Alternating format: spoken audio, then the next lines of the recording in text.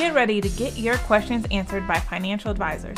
Learn how to put more money back in your pockets regardless of where you're starting your financial journey with your host, Hannah Mitrea. Welcome back, everybody, to Virtual U.S. Financial Advisor Podcast. I'm so excited to have Phil Weiss here with me. Phil is the principal of Apprise Wealth Management.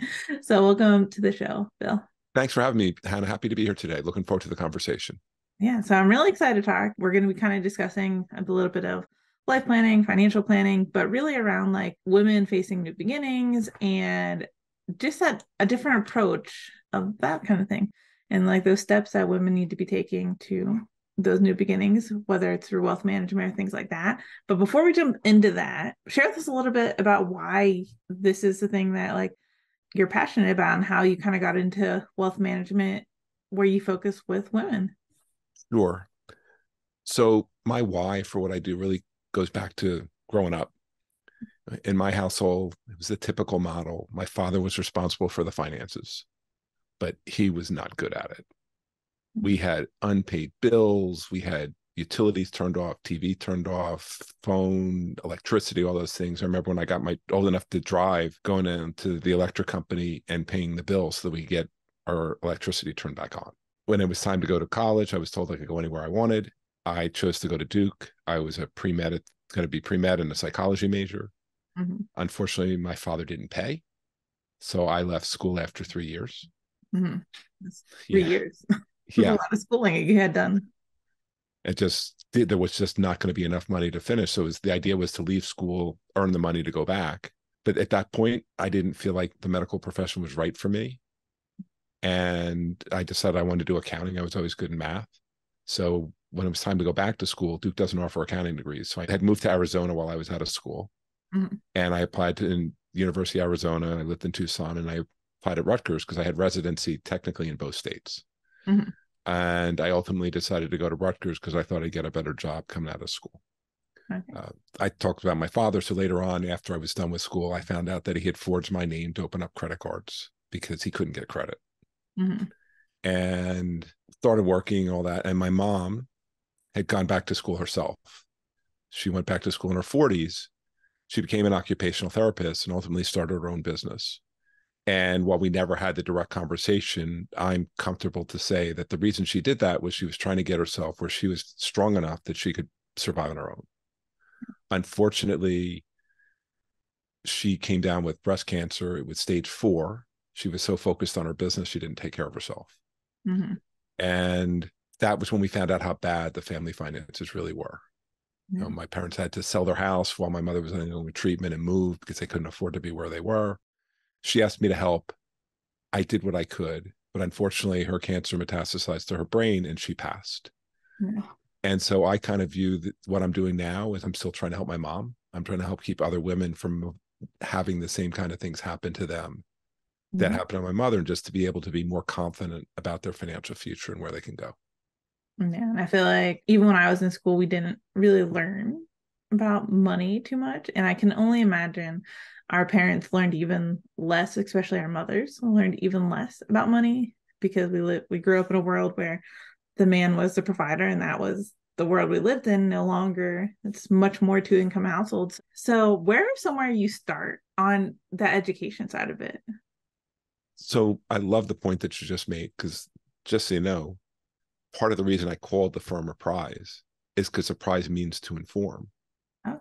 And so it's important to me to help educate people and have them understand the whys behind what I recommend and what I do, as opposed to just saying, here, do this, or I got this for you. It doesn't work that way. I want people to be educated. That's really important. That's why I blog too. Like every week I put out a blog and those blogs are meant to help educate because I, I agree with you completely. Our education in our financial system is terrible.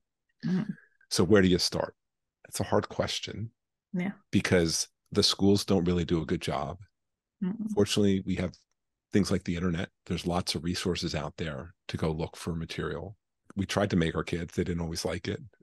Take an accounting course in high school just to give them some understanding of some of these concepts. You know, if you have kids, it's sad, but we, it's probably easier for us to talk about sex than it is about money, at least mm-hmm. for most people.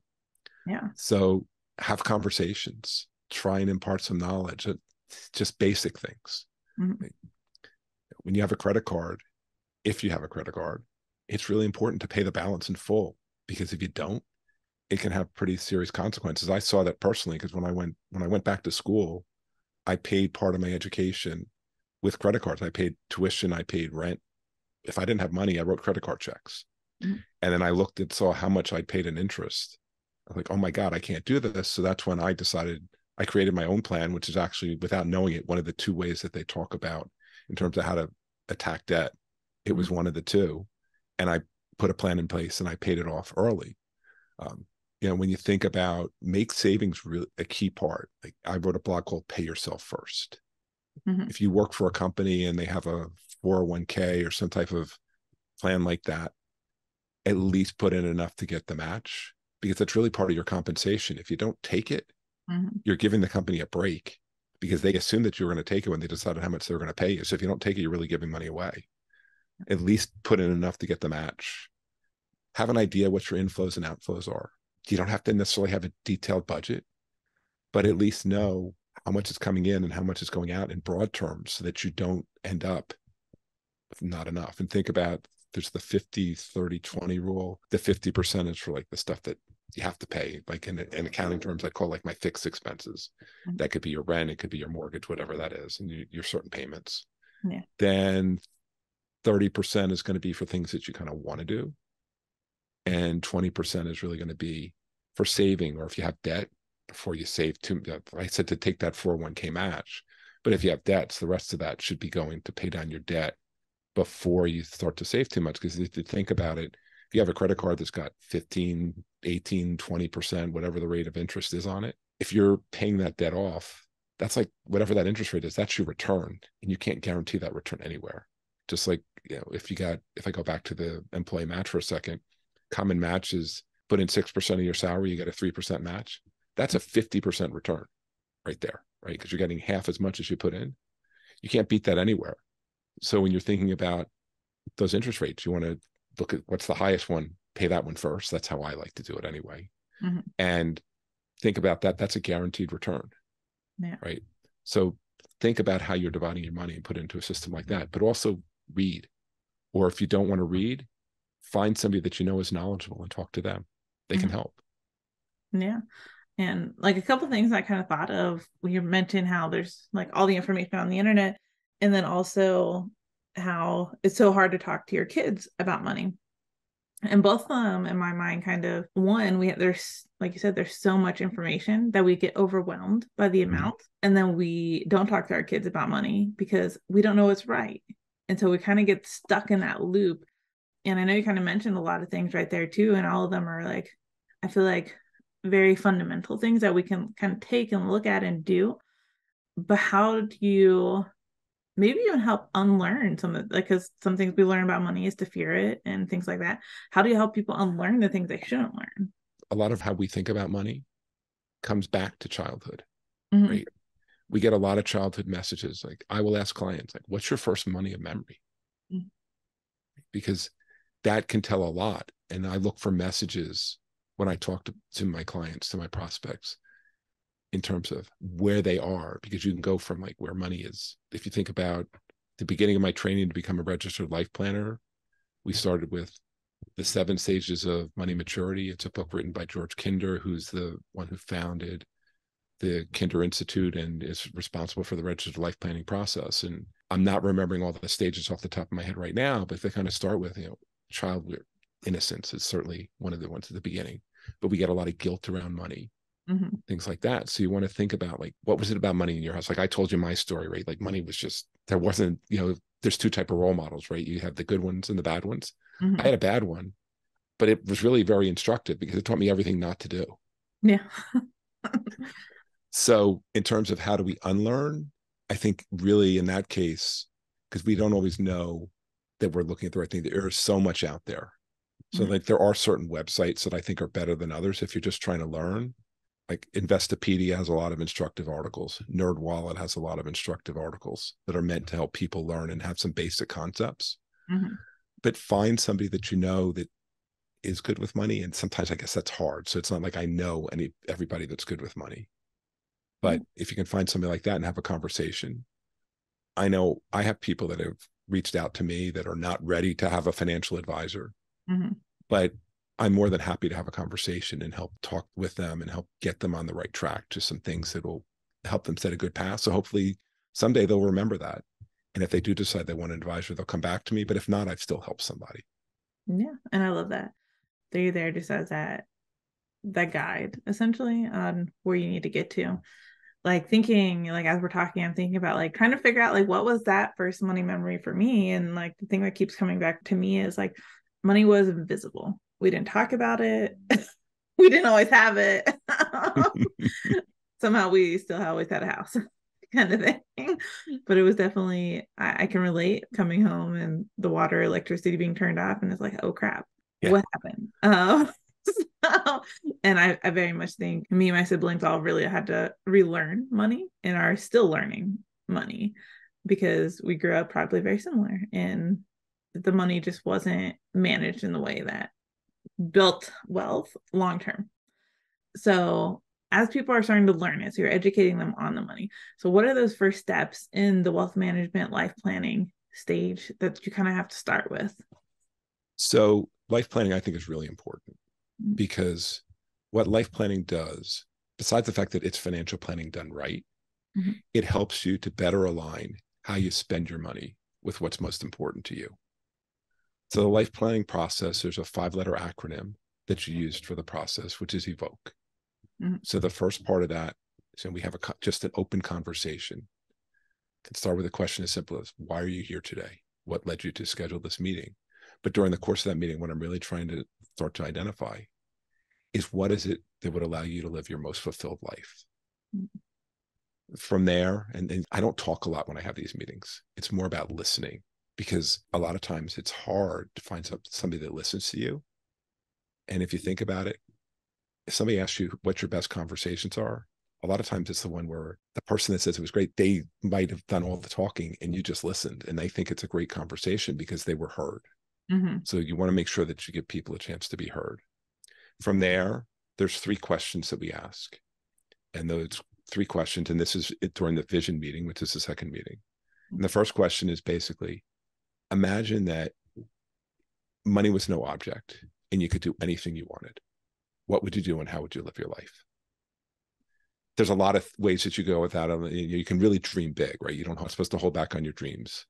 But then we start to get closer to reality, right? So now the second question is this time money is part of the equation. And you go to the doctor and you get the unfortunate news that you have five to 10 years left to live. The good news is you're not ever going to feel sick during that period. The bad news is you don't know when you're going to go.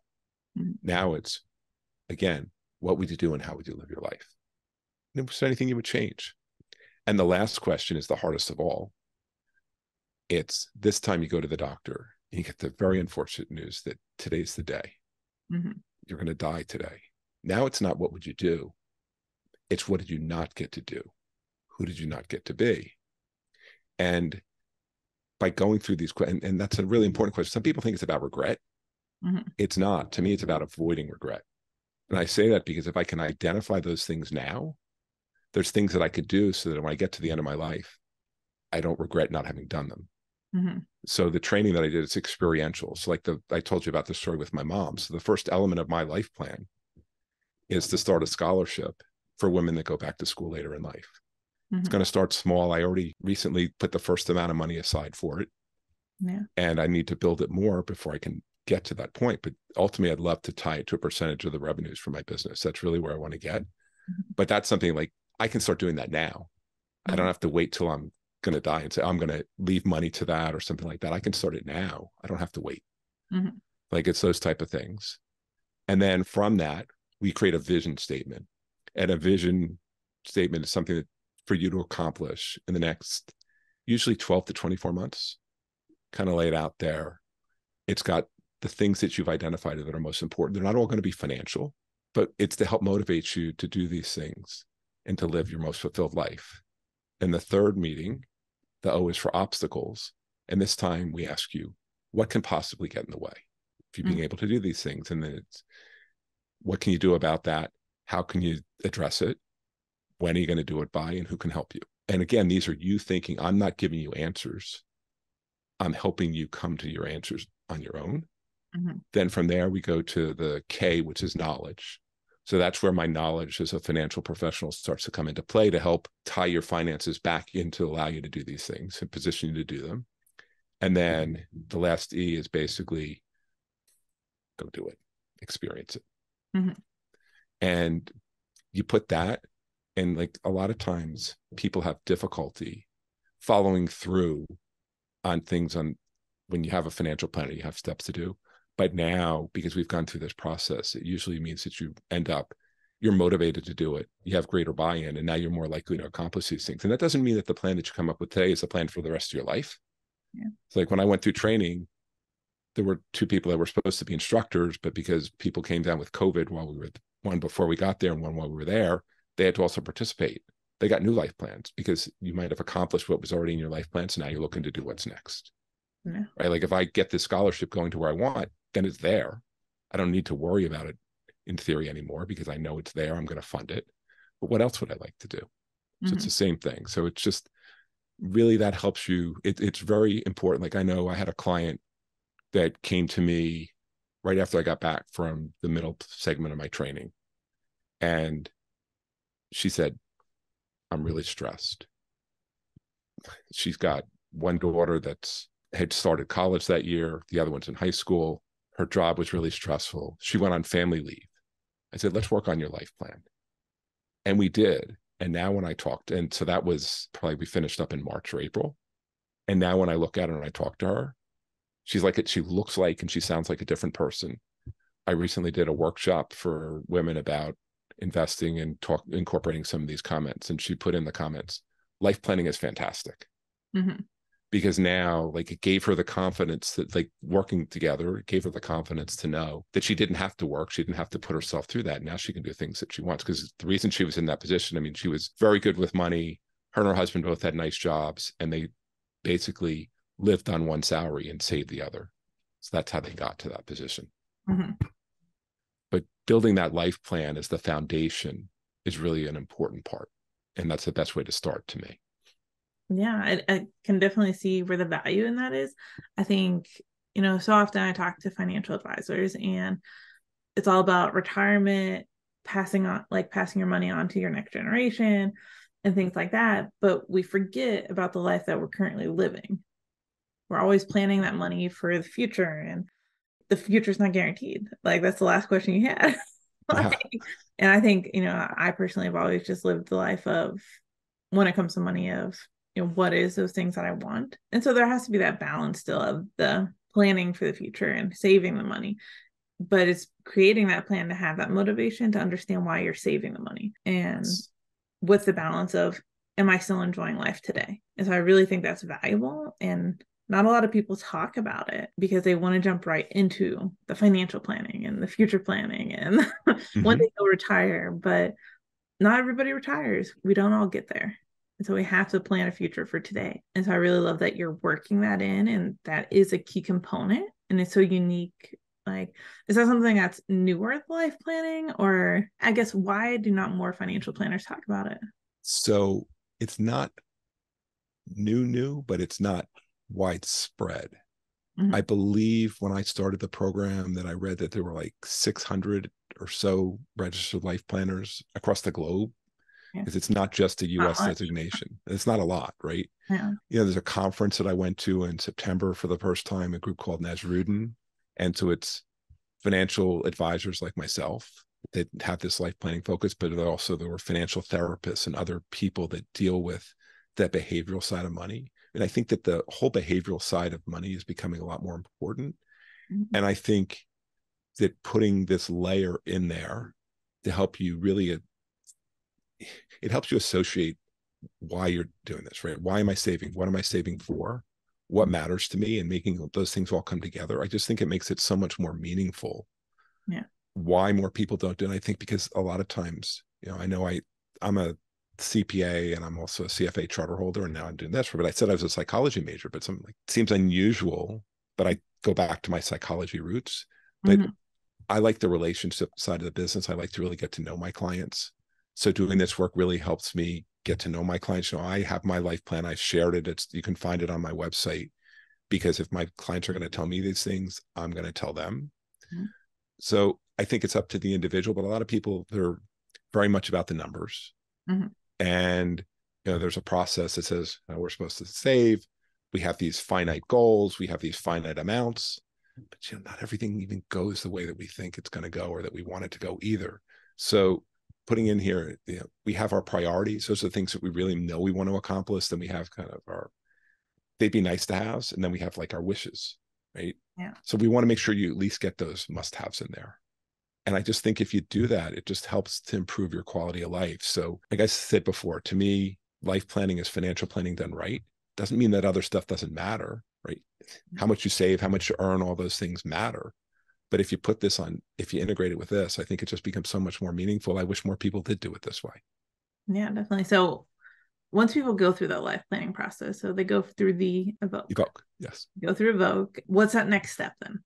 So that's when we go, you know, it's kind of integrated in because I said the K was for knowledge, right? So that's when we start to now we've done the life plan. So we know those things that are important that we really want to make sure that you kind of that we want to position you to accomplish. So now we build the life plan mm-hmm. around those things so that I never want to say no. You can't do anything. Like if something's really important to you, we're going to figure out a way. So mm-hmm. by identifying those things first, now we can build the financial part of your life plan that incorporates those things and positions you to achieve them. You know, how much do I need to save to do this, and how much do I need to save to do that, and and how those type of things. Mm-hmm. Yeah, definitely. And I know, kind of like in your ebook and your steps, it's kind of like planning for like the longevity and kind of investing in the future is kind of like in there. So how did those kind of tie into the life planning or how do those progress into our next steps here? So planning for longevity just means like first of all, we don't know how long we're going to live. Yeah. You said that before. We don't. But we want to make sure that we've done our best to position ourselves to live for a long time. I know people say, I don't, some people say, I don't want to leave anything to anybody. I want, I want to die with a penny. Mm-hmm. Right. Well, that that's nice. It's kind of hard to do, right? Because we don't know for sure how long we're going to live. Mm-hmm. But to me, when I think about planning for longevity and investing in the future, part of it's about not taking unnecessary risk too. You know, if I think about investing, you know, if we listen to the financial media, they talk about beating the market all the time. Mm-hmm. But you know, beating the market implies taking on risk. And it's great if that risk leads to more, but what's not so great is it leads to less. Mm-hmm. Right. So we want to figure out what kind of investment strategy in terms of how much to save and how to invest it matches with what your needs are. Because I'd rather, I don't want to be the one that tells you, you can't do this anymore because your portfolio just lost a lot of money. Yeah. Because we tried to beat the market, we didn't. And now when you don't beat the market and the market goes down, you're likely to lose more than the market. I'd rather position you so that we're trying to lose less. We might not make as much on the upside too, we'll still mm. make something when the market goes up, but really we want to try to avoid those big losses. Because think about it, if your portfolio goes down, let's say that it was worth 100 and it goes down 20%. So now it's worth 80. Mm-hmm. It has to go up 25% to go back to even. So if we can limit some of those losses, it makes it less that we have to recover, mm-hmm. basically. So those are the things. And so we want to figure out how much, like I said, how much do we have to save? And how do we want to invest it? Those are really important parts of that. Yeah definitely. I think you know not leaving anything behind and dying with a penny is so unrealistic. Like and, you know i think of brewster's millions all the time whenever i'm talking on the podcast just because it's one of those things where it's not easy to just end with no money. So right. not that and you want to be able to build the money since you can't predict when the end is in any way. So for anyone listening to the podcast right now what are those like big takeaways in life planning and wealth management you would want them to know? So I'd like to think of this. You can do what I do yourself if you want. But to me, you have to have three things, and I'll use another acronym. It's KIT. You have to have the knowledge, you have to have the interest, and you have to have probably the most important of all and the hardest one is time to do it yourself. Mm-hmm. If you have those things, you can. But what happens too is that as we get older, our lives get more complicated, right? We have families, we have kids, or even if you don't have kids, you still have families, your job gets more complicated, everything gets more complicated, and you have less time. And so it can really help to find somebody that can help you. When you're looking for somebody to help you, you want to make sure that there's somebody that you can communicate with, that you're comfortable with, because especially if you do a life plan, you're going to divulge a lot of information. Mm-hmm. And if you're not comfortable working with that person, it's the old garbage in, garbage out, right? You're not going to have a good result. Mm-hmm. You want to make sure that if you're not going to do it yourself, find a good partner for you. There's a lot of financial advisors out there. You know, I never think of myself as being in competition with others because I might not be the best person for you. Mm-hmm. Somebody else is, but I might not be the one. I might be. You have to find that out. So you want to ask good questions. You want to make sure that when you're thinking about working with somebody, that you want them to be a fiduciary, which means that they're supposed to work in your best interest and not theirs. You want them to know that they're on your side and they're looking out for you. You want to have somebody that you can have confidence in, that you can go to and ask questions. Like I always believe that there's no such thing as a dumb question. The only dumb questions are the ones we don't ask, because if we don't ask, then we don't know the answer. That's when it's being dumb. But asking the question itself, if you don't know, you have to ask. Mm-hmm. Those things are really important. And that concept I talked about earlier about paying yourself first, it's really important because if we put money directly out of our paycheck into a brokerage account, into a retirement account, into a savings account, whatever it may be, we have to go to extra steps to access it. Sometimes those extra steps might cost us money too. Like if it's a retirement account, we're not old enough to pull it out, but it makes it harder to get to it. So if it's not sitting in your checking account, you don't look and say, oh, I got this much. It's a lot harder to spend it when you don't have it. Yeah. If you have credit cards, use them responsibly. Mm-hmm. You know, I had one of my kids say, Dad, why do you use credit cards? They're dangerous. They're not dangerous if I pay the balance in full, right, I spend the money that I know that I can repay. Mm-hmm. Actually, they can be rewarding, right? Because you can get a free credit card with a 25 day grace period. So there's no interest as long as you pay the balance in full, and they'll give you rewards yeah. that you can use for other things. So just it's all about responsibility, mm-hmm. taking responsibility, being responsible, having a good process. So we don't necessarily have to budget detail, but you have to know at least that you're not spending more than you're taking in. Because if you do that, you're going in the wrong direction. And also, don't forget about taxes. A lot of times when it comes to taxes, we think about taxes when January and February come and we start getting 1099s and W 2s and all this information about what just happened. Mm-hmm. For the most part, that's too late to do any planning. To me, taxes and investing are joined at the hip. So when I work with my clients, tax planning is such an important part of what we do because I think about the fact that it's not about how much tax I pay in a given year. Mm-hmm. It's how much tax I pay over my lifetime. So I want to reduce and lower my lifetime tax liability. I have clients that they might be in their 70s and I'm still having them do Roth conversions because if I look at and a Roth conversion is taking money that you have in a regular IRA or regular 401k, which you didn't pay tax when you put the money in, you pay tax when you pull the money out. Mm-hmm. Well, there are times it makes sense to make it a Roth where you pay tax on the money that goes in but you don't pay tax on the money that p- comes out. And doing that, I call this bracket stuffing. I look at what tax brackets you're in. You know, the marginal tax rates right now are 12%, 22%, 10%, 12%, 22%, 24%, 32%, and 35 or 37. I so you know, if we're in the 12% bracket and we have room and I look at your plan and what looks like coming in the future could put you into a higher tax rate, let's fill up that 12% bracket. If we're in the 22% bracket, and again, it looks like it could be higher in the future, let's fill that. We might even fill the 24 because the current tax rate system that we have is only in existence until 2025. The legislation that put this into place passed in 2017, effective in 2018. It's good for eight years. Mm-hmm. the end of 2025, we go back to the old system unless they do something new. And while I don't like to forecast or prognosticate much of anything, if I look at tax rates, it feels like if you look at the size of the deficit and all the money that's been spent and everything, most people would tell you they expect tax rates to go up, not down, yeah. when they do work out what comes next.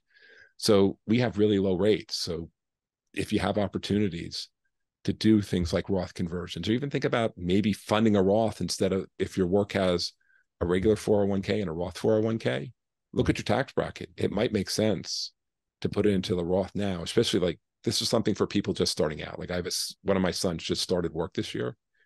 I wanted to put money into his Roth because his tax rate's low. Mm, yeah. He can pay 12% tax on that money. Hopefully it grows over time and he'll never have to pay tax on it again.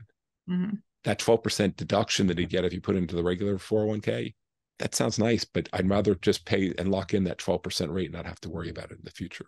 So you want to think about things like that too. To do good tax planning, you have to think ahead. You have to do it now. Now is getting starting to get late, right? Because we only yeah. have another month in the year when we're speaking.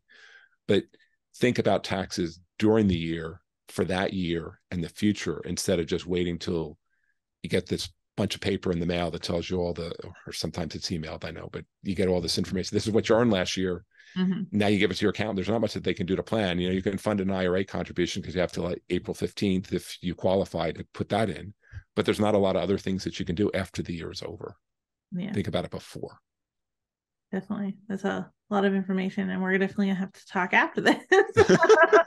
But let everybody know that's listening how can they reach out to you? And who is that person that should reach out to you?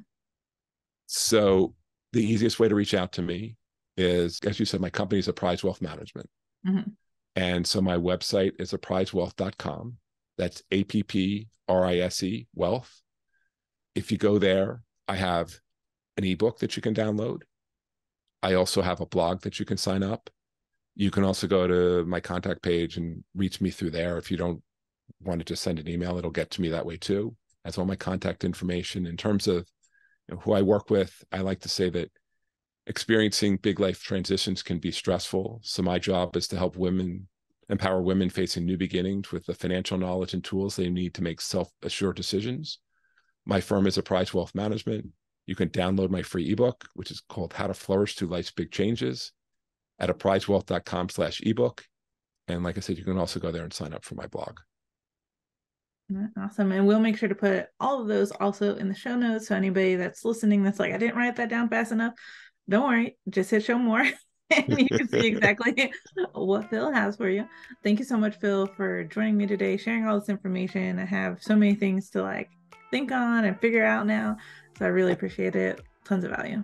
I really appreciate the opportunity to speak with you today and I enjoyed it. And thanks so much for having me on. It was great. Thank you for joining us this week on the Virtual U.S. Financial Advisor podcast. Subscribe to the show on Apple Podcasts, Spotify, Stitcher, or via RSS so you'll never miss an episode. We'd love a rating on iTunes, or better yet, tell a friend about the show, which will help us grow as well. If you want to learn from any of our financial advisors, head over to our website, virtualusfinancialadvisor.com, to learn more about each financial advisor and connect with them personally. Be sure to tune in next week to get more advice from the expert financial advisors. See you on the next episode.